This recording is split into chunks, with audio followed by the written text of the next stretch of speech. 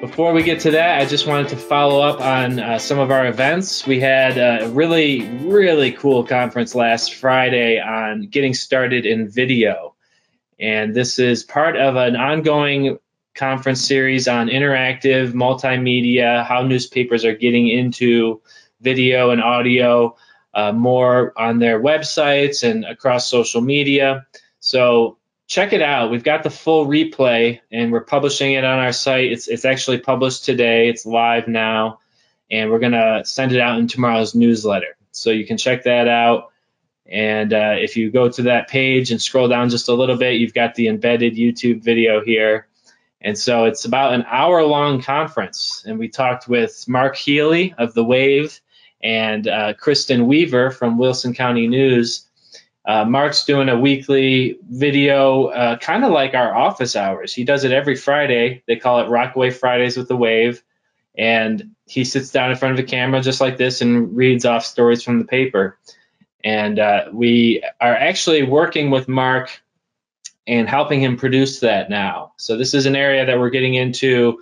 It's still kind of a, uh, an evolving program. You know, I don't know exactly where it's going to go, but the vision I see for it is that we could use GoToWebinar, this technology that we have uh, that's really great for screen sharing and, and webcasting, but it's also great for real time feedback. So, my vision for this is that newspapers could one day use GoToWebinar or some similar uh, you know program it could be zoom webinar but it really needs to be a webinar tool that allows them, and, and then they can invite their subscribers to the live conference. Okay, and then so it's kind of like a premium experience. Only the paying subscribers can come to the live filming of uh, their weekly updates or their office hours, whatever they want to call it. And that's exactly what we do at our hometown. This is only open to customers, uh, whereas our other virtual conferences are public. But then the video is put out on YouTube and we you know broadcast this widely. So there's there's no need in in my view to restrict access to a video that's already been filmed. You know that that should just be put out there and spread as as far and wide as possible across social media and on your website. But to have only subscribers come to the live filming i think really gives them it's it's a huge value to the, them as a subscriber because now they can talk directly to the editor. Or in this case you know you can talk right to the ceo and and our customer support team and we're here to answer questions. The same thing I, I'm, I'm trying to get going with the wave so that they can have their you know hundreds of subscribers. I think they've almost got a thousand subscribers on their website. They can open this up to them and then uh, you know only they would be allowed to join and ask questions in real time so that's just kind of a work in progress and we're we're open to working with other papers on producing these weekly uh, video casts so definitely contact me uh, contact us at ops if you're interested in that and then we also talked to Kristen Weaver, who's doing a really cool program with Facebook Live in combination with her audio articles on the website. She's actually monetizing this. So she's got uh, a sponsor that shows up on the Facebook Live feed and also is the uh, sponsor on audio articles. So they have the audio ads spot. And um, she told us she's charging $100 a week for that. So that's just like a, a nice baseline price point. I think you could charge more than that because it's a unique sponsorship and it's totally innovative, unlike anything that they can get you know, online or in print. You know, there's there's no equivalent for this in terms of getting uh, exposure for their business. Uh, they can't just go to Facebook and pay a hundred bucks a week and and have this kind of um, you know a personalized sponsorship position. So um, really really creative these two publishers. They're doing uh, really exciting things with video, and it's a constantly evolving thing. So it was a great conference. We had a lot of feedback from the, the listeners and the attendees, a lot of questions there. So check it out. Uh, the, the whole video is on our website. Okay. Now I want to just give you a quick preview for uh, an upcoming virtual conference. So what we're going to actually do with this, we're going to try something new. We're going to try to clip this portion of office hours and create an advertisement that's going to go on Facebook and uh, across all social media. So I'm going to just kind of start over here and um, you're going to see me kind of change my tone here for a second. But uh, again, we're just we're experimenting with creating high yield video with these office hours. So th- this is going to turn into not just a video for our customers to watch as a, a tutorial when we talk about the newsletter, but it's also going to be an advertisement for one of our events. Okay, so let me just think about exactly how I want to start this. Okay, I think I got it. And I have a little bit of a script. Oh no, I didn't actually put a script together. So um, I just need to pull up the description on this screen. Okay. Hey everyone, this is Matt Larson from our hometown, and today I've got a really exciting announcement for you. In two weeks, we're going to be having a virtual conference on getting started with audio podcasts. This is going to take place on Thursday, October 29th at 2 p.m. Eastern. And we're really excited about this. We're going to have a very special guest with us, Tom Lappas, the publisher of the Henrico Citizen. He has been really leading the industry in developing new podcasts. He's launched three different podcasts over the course of this year, and his most uh, frequently updated podcast is the Henrico News Minute. He does that every day, actually, every weekday, so five days a week, and it's a, just a quick audio update from the paper. So we're going to talk about his process for that in uh, great detail, how he got started in producing that podcast, what is his process for doing it. But we're also going to talk about some other automated ways that you can get into the audio space, okay? Because audio podcasts are clearly becoming a very popular way for you to connect with your audience in the digital arena. Okay, so as a newspaper, this is a great way to reinforce your brand and expand beyond the print and even just having text on your website to expand into the audio space because a lot of people, frankly, just prefer to consume news via audio. And we have the tools to do that to create the audio material in a completely automated way. Okay, and that's through audio articles. So let me just actually pull this up. If you Google our hometown, whoops, audio articles, our hometown audio articles, that's the first spot there. Okay, and what this feature does is it automatically transcribes your audio, or sorry, what this feature does is it automatically transcribes your text articles on the website into mini podcasts. And so this is a way for you to create audio material in a completely automated way. You don't need to sit there and read the article on your website and record it. Uh, it, it, it happens with the push of a button. And so the idea here is that you can get into audio in a very simple way just by turning on the audio articles feature. So you can just contact us at Ops if you want to do that. But what we're going to be talking about in this conference is this idea of taking audio articles, individual stories, and stringing them together into a single audio file or an audio edition, as I like to call it.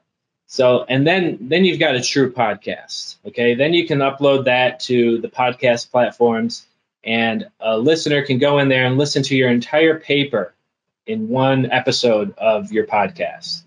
So these are two different approaches that we're going to be discussing at the virtual conference. We're really excited about it because, you know, Tom's method I think has a lot of benefits. It's more personalized. He can do, you know, a lot more with it. It's it's a lot more flexible because he's creating it manually.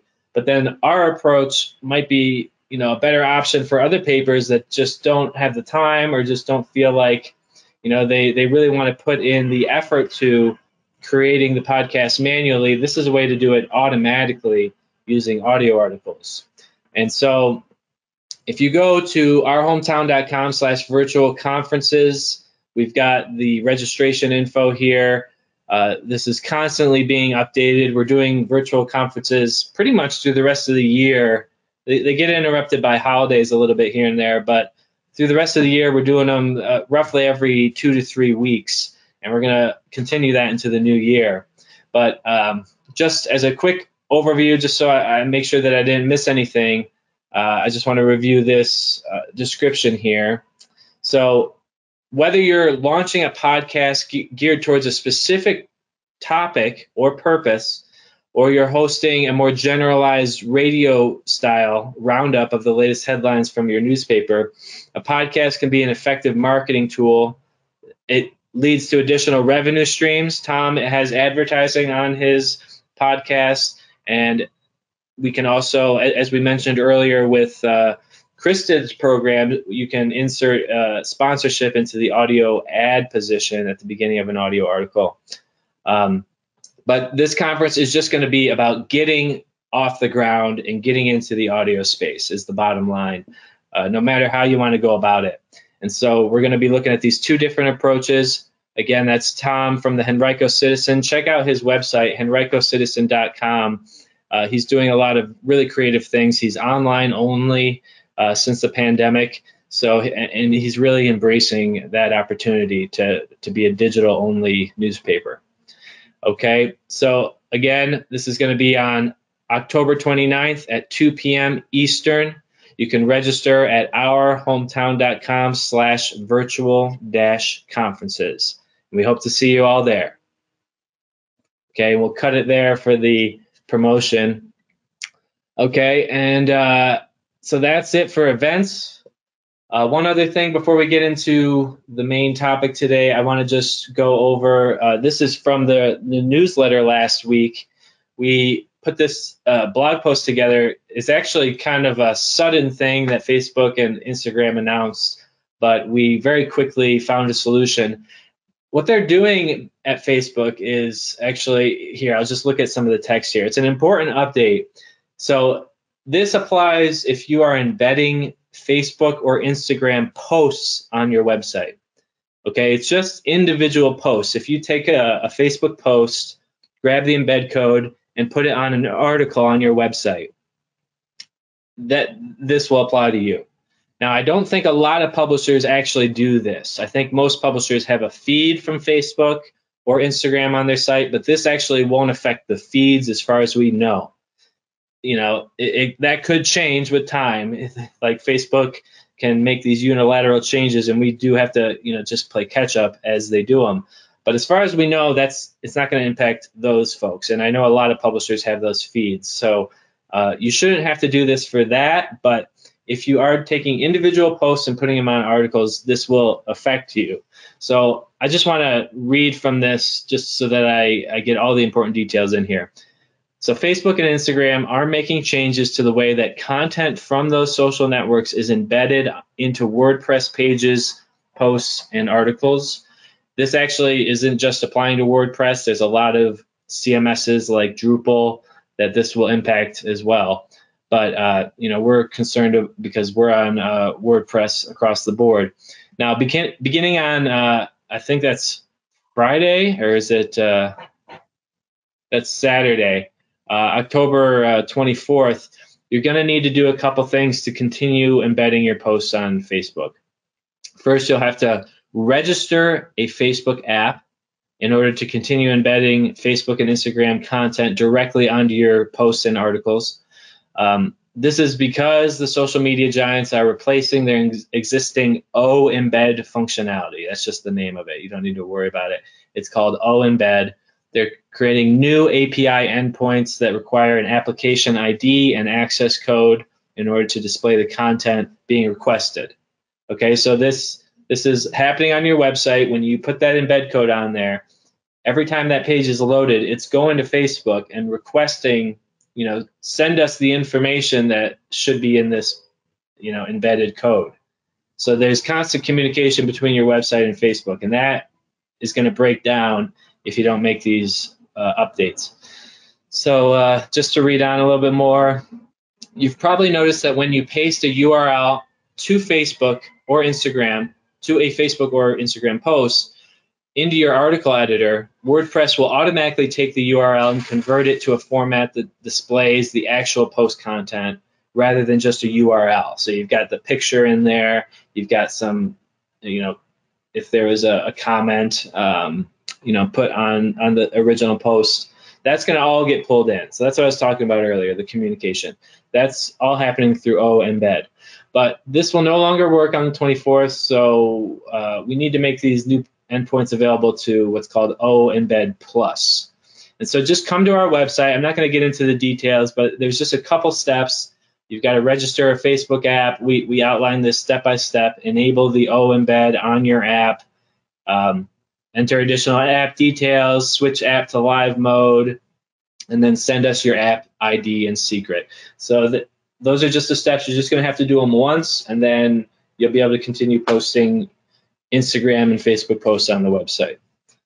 Okay but there's there's just a lot of um, you know technical details here. So I would just go to the blog posts and read through this uh, for more info.